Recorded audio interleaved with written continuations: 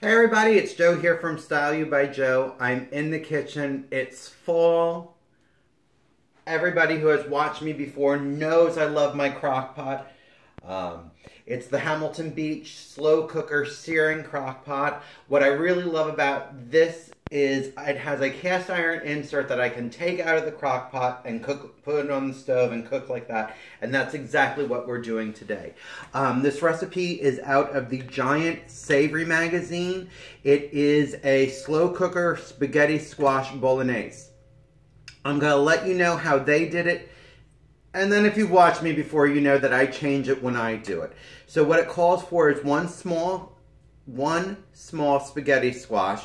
It calls for a teaspoon of olive oil. It calls for a pound of, let's see, they're calling for 85% lean ground beef. It calls for a quarter or three quarters of a cup chopped onion.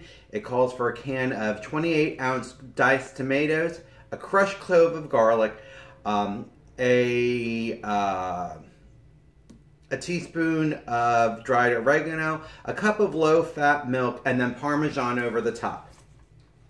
So, like I said, if, if you've watched me before, you know that I tend to change things up a little bit. Now, turkey breast.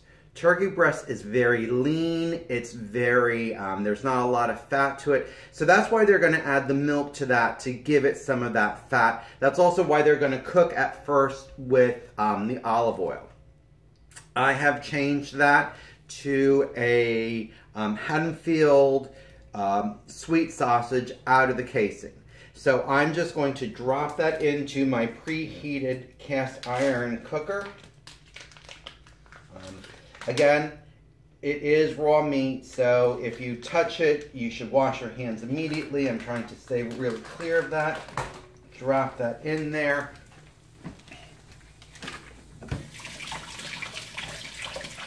My hands up.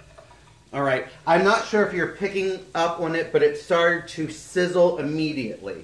Um, the best way to break up meat is an old-fashioned uh, potato masher. This one belonged to at least my grandmother, if not my great-grandmother.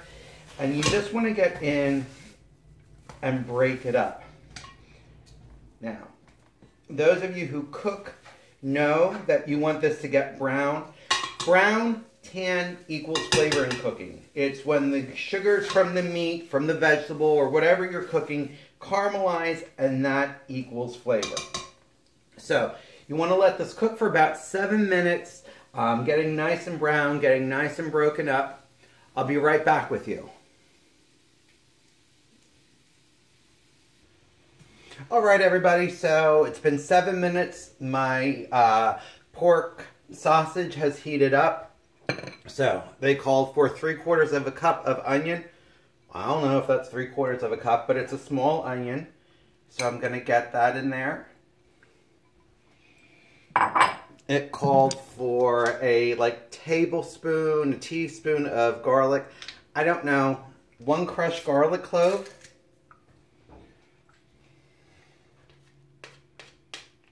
Yep, that'll work. Give that a stir.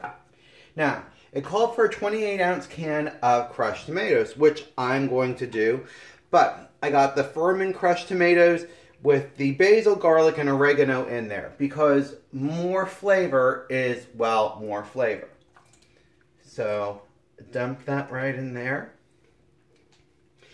it called for a cup of low-fat milk. Again, I think that low-fat milk was to add some fat to the turkey, so I don't necessarily need to do that. But, hmm, what would I do to give it flavor? Here is a cup of the beef bone, uh, the bone beef broth that I made a while ago. The video I know is on there. So what I am going to do is dump that into the tomato can and just swirl it around a little bit to get all of the tomato that didn't come out because why on earth would you waste that? Dump that in there. Give it a stir.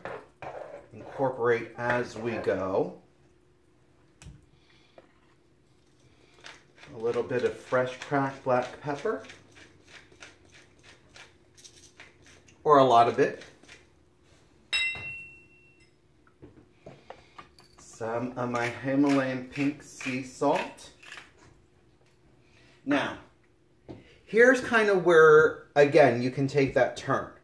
It called for a teaspoon of dried oregano, which I'm absolutely going to do. So a palm full of that. If you don't like oregano, don't use a lot of it. It can be very overpowering. But now I added sweet sausage. So I'm going to also add a generous heaping of parsley flake.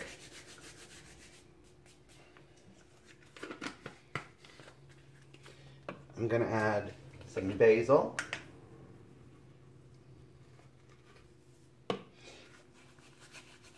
And when you work with fresh herbs, you want to crush them. That's what brings the oils back. That's what brings the flavor back. So if, if you're in questioning why I do that, that's exactly why I do that.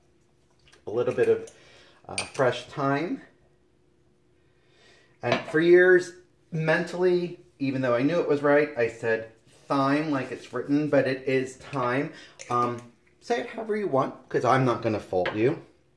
Now, I'm going to add just a little bit of fennel seed to it. But again, that's going to bring that sausage flavor to it. And they can be very overpowering. So just add a little bit to it. But I like it. Um, and, and, that you really want to get between your fingers and crush. Because it, it is a seed. Um, but I love that. Give that a good stir.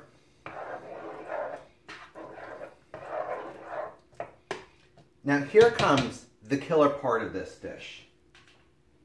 I have an acorn squash, which I've halved. I've cleaned out. Or spaghetti squash, not acorn squash. Sorry about that, folks. And you're just going to stick that in there. Turn this bad baby on high. Put the lid on there. And you're done. You can now go about your day doing whatever it is that you need to do.